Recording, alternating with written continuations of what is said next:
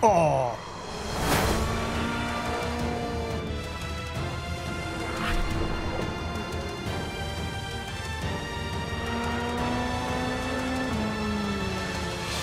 Hello everyone, welcome to another video. Welcome to Road Atlanta, where we're going to be doing a Toyota GR86 Cup race on iRacing. Now, there's nothing I like better than racing combos which I've never raced. The Toyota GR86 and Road Atlanta being one of them. And it turns out it's a pretty decent combo. Now, I didn't put too much practice into this race, and that's reflected in my qualifying time. We qualified all the way back P11 with a 1 minute 36.300. I can definitely go quicker.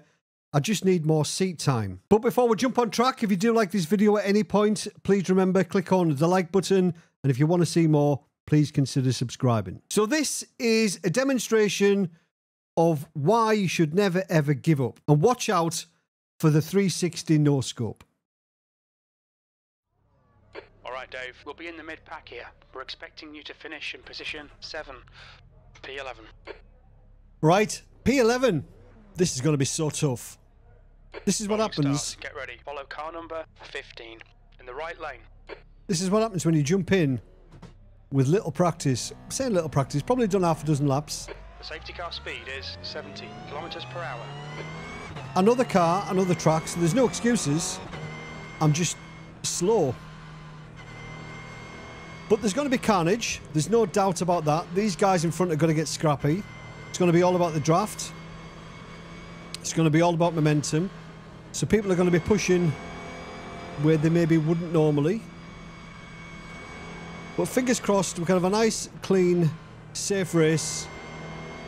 And I tell you what, Road Atlanta has has never looked so good. Now we're in 4K on the new PC Specialist system. I haven't gone into specs yet. Uh, I'm going to do a, an updated room tour where I was going to cover the specs. But a few people have asked, so it's a, an Intel 14900K, 96 gigabytes of super fast RAM, and an RTX 4090.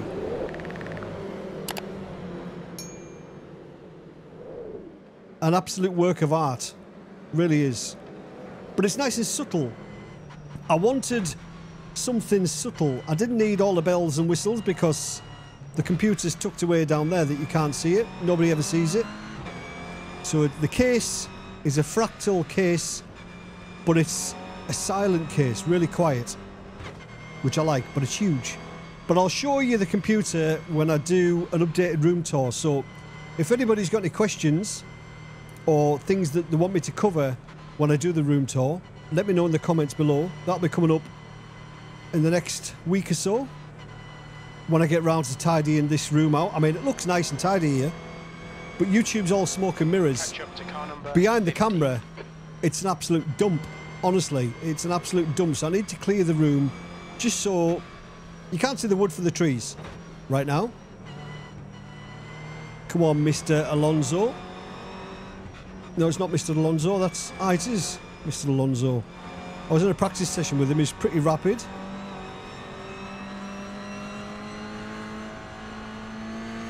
And we're going. Here we go. Be ready. Green, green, green.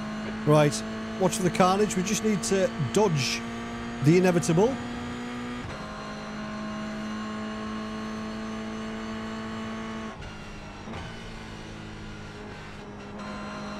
Okay, Dave. The next car is Alonso, B license, and their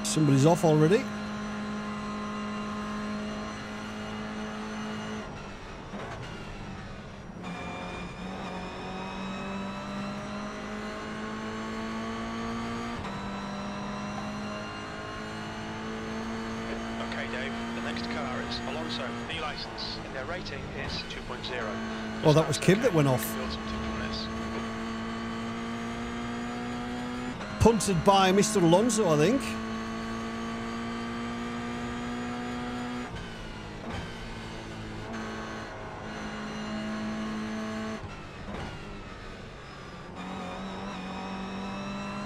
Right. We're up one. We're up one.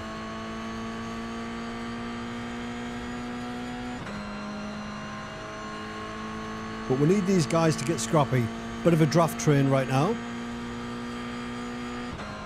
I'm probably a good half a second off where I need to be really to be semi-competitive.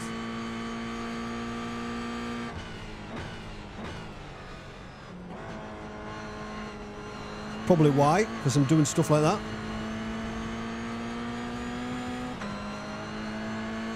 On your right. Still there. Clear right.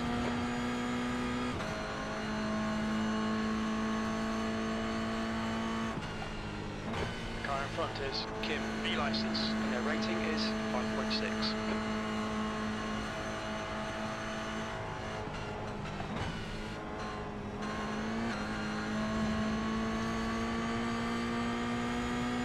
That's all right.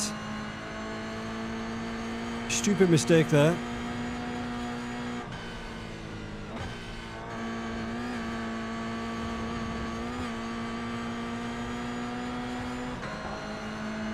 Car right. Still there. Clear right.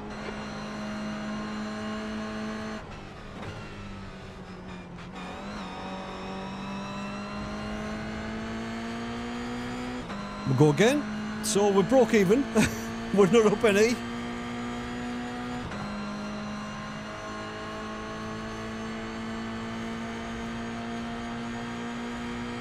Perdona, Chus, no te vi. No, tranquilo, tranquilo, no pasa nada.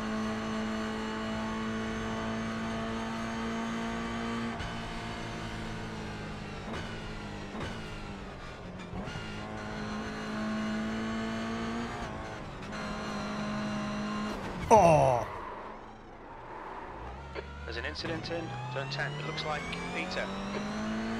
The leader has just done a 134.90.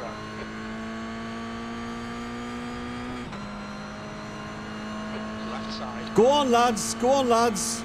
clear left, V14.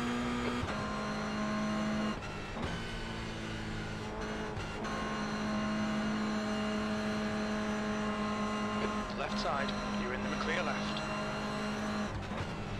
Car right. He's still clear all round. Incident in the S's. Looks like it's Kim. Oh, Okay, Dave. The next car is Brett, B license, and their rating is 2.2. right. So we're only down one. Can you believe it?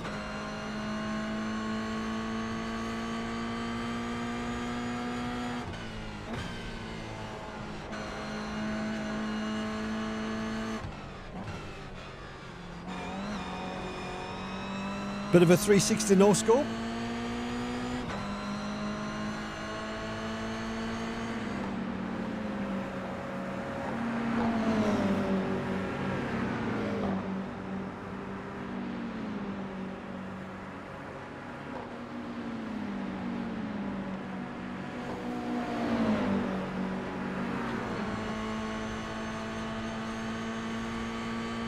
Driver in front of us is car number 13, B license, and their rating is 2.5. Right, can we chase down Javier?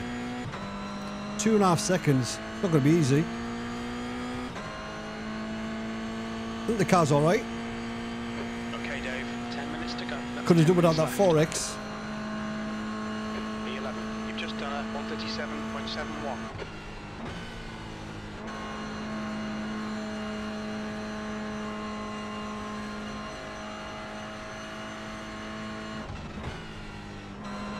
intimidate you. You have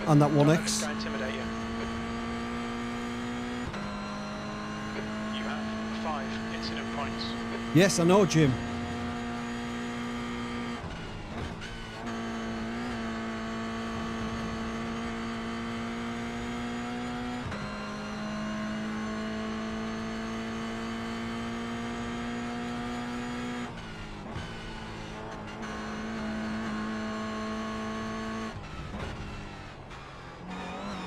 So it's the gap, I think, to Benjamin that we need to look at. Because Javier's got draft.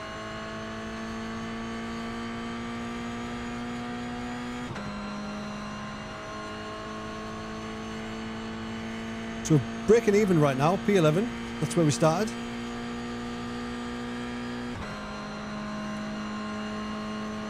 All things considered, that's a result.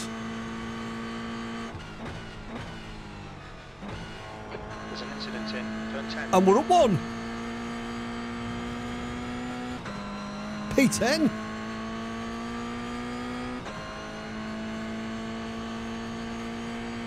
The car in front of us is Benjamin, B license, and their rating is. Still potential for freebies as well. position.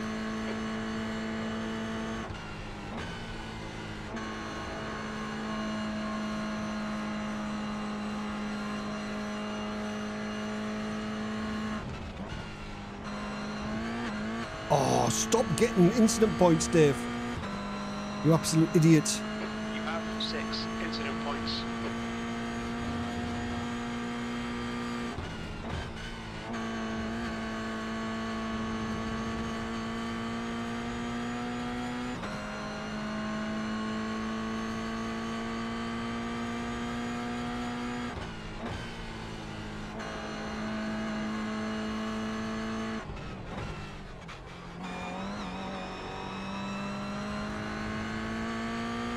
Okay, Dave. halfway Bruno's going well behind. He's up seven.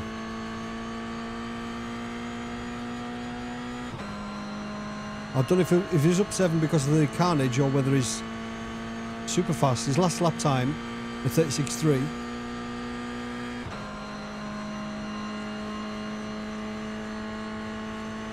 Gap to P11 behind is now 0.8.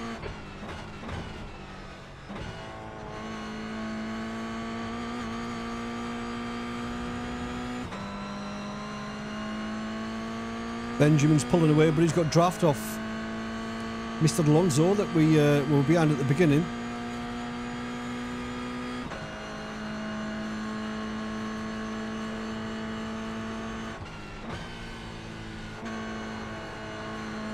No.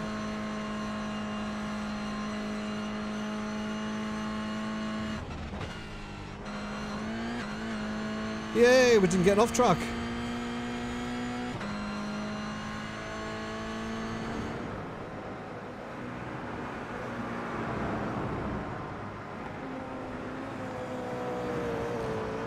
Downshift protection. Ca- nearly catching me out there.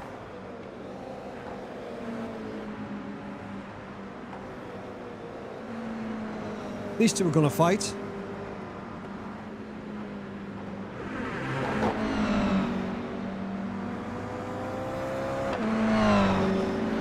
They'll probably go too wide down here. The top three are only separated, or top five are only separated by 0.6. So, potential fireworks.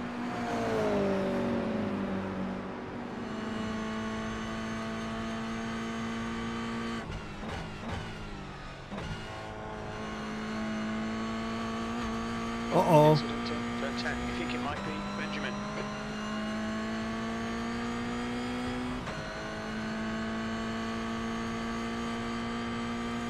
Has this guy in front murdered Benjamin there? I'm guessing he has. P9. Alright, Dave. The next car is Alonso, B license, and their rating is 2.0.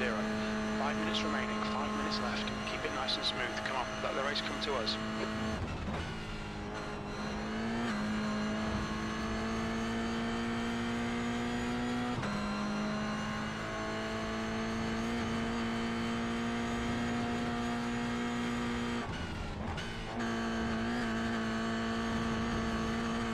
What's a gap? 2.1. I think he's too quick for us to catch him up, I think.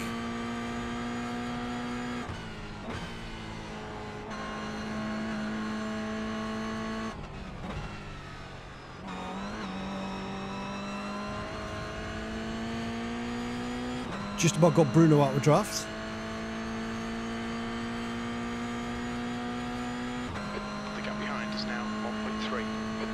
If we do catch this guy up, we need to make sure we can get the move done.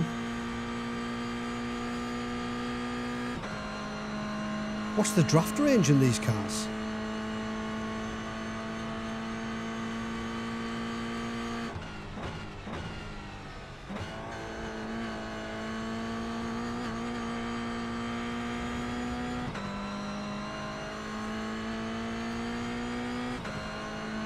We're catching him though.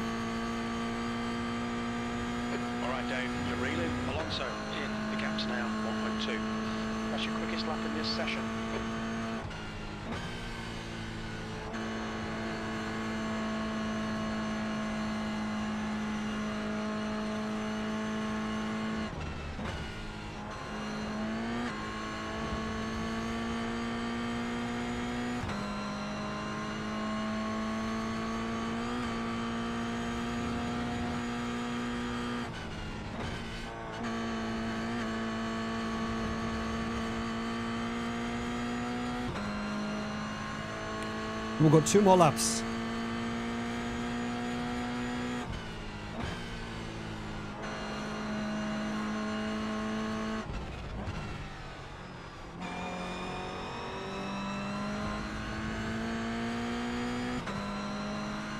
So we've dropped off Benjamin. He's got past Bruno.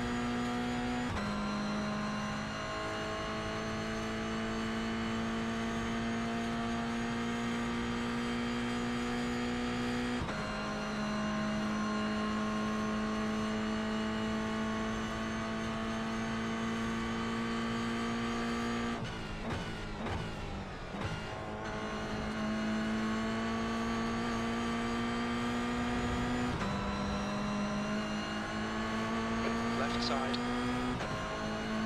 Still there. Hold your line. Still there. Hold your line. Clear left. Just two minutes left. Two minutes to go. P8. Your lap times are improving. This is good. The next car is Walsh, B license, and their rating is 3.5.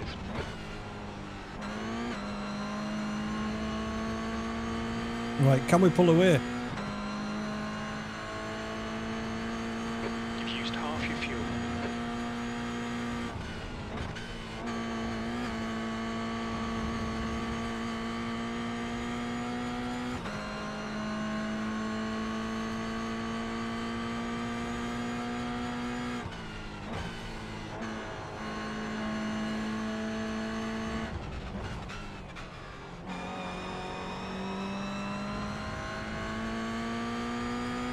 see how badly his car's damaged, if it is damaged. I'm guessing it is because he was a bit slower on the straight, so 0.5 back.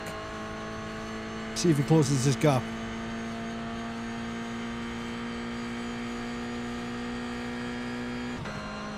No, he hasn't. Oh, he has the 10th.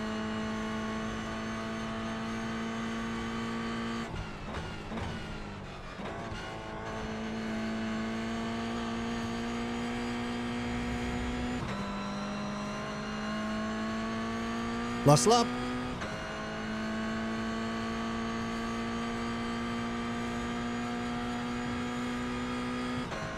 The front five is still really close. So there could well be fireworks at the sharp end.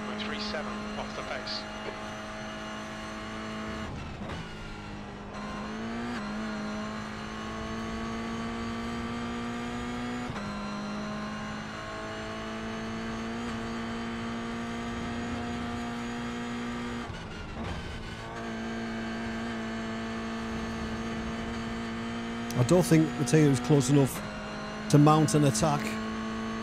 He's actually getting overtaken, I think.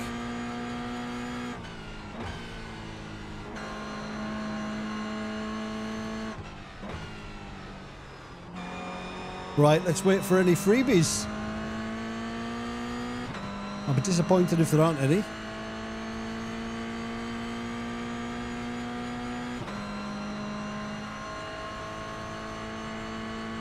Pace hasn't been too bad, I don't think. If we had a bit of draft, we maybe could have kept up with those guys. Now we've sorted out this uh, chicane.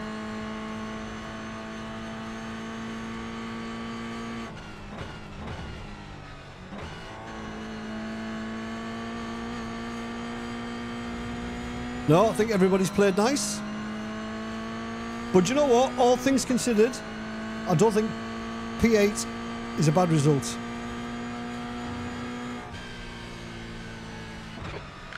We'll take there it. we go, it's over. Bring it back round. Six incident points. Our safety rate is terrible, so you never know, we might still gain. Let's have a look at the carnage.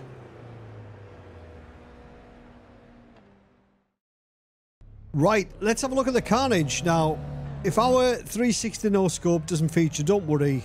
I'll show you it at the end of the carnage reel, but no doubt it will be there.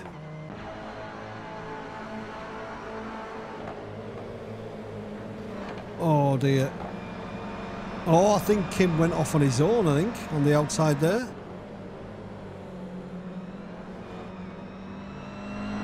Goodbye, number 77. Or 17.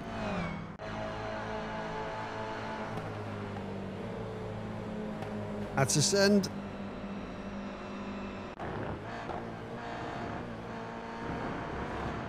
That's a wall. Oh, this is the incident. Yeah, it turned in a little bit early there. And then we just got caught. Oh, dear.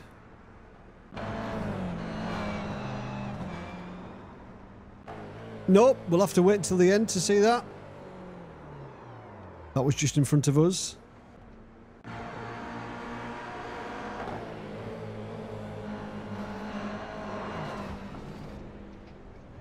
Oh, dear me. That's a hit.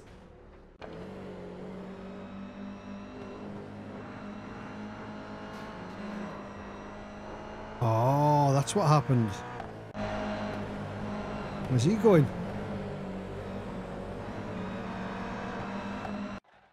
And that is it, right? Let's have a look at that 360 no scope. So there was absolutely no skill involved in this. It was just pure luck. So if anybody says that it's meant to happen, a liar. We're just very, very lucky that we kept it on the track and pointing in the right direction. Right, let's have a look at the results. So there were four splits for this race. This was the top split. The strength of field was 3,429. So we lost safety rate. I actually thought we might have gained some, but we lost 0.07 and we gained one iRating. So Jamie got the win, Thomas P2 and Olivier P3. We finished P8, car number 7, started P11. Our fastest lap, a 135.3. Not a million miles away, and we had six incident points. So who was the biggest winner? Well, it's easily going to be Thomas D. Fleming the second, who finished P2. He gained 83. And the biggest loser is Kim Lee. He lost 126. So there we go. Started P11, finished P8. Safety rating loss, but an iRating gain. No matter what happens during a race, never give up. You never know what's going to happen. We got lucky with that 360 no scope, pointing in the right direction. Got our head down, managed to gain back two or three positions, and a couple of people went off, which put us into positive iRating. Although I think this is a great combo, will I do another one? Probably not. So don't forget to let me know down in the comments what you want me to cover on the sim room tour. Yes, it's all well and good showing you the equipment, but I like to show people behind the scenes and what I have to make things work. But let me know down below in the comments. As always, thanks for watching. Have a great week. See you later. Cheers.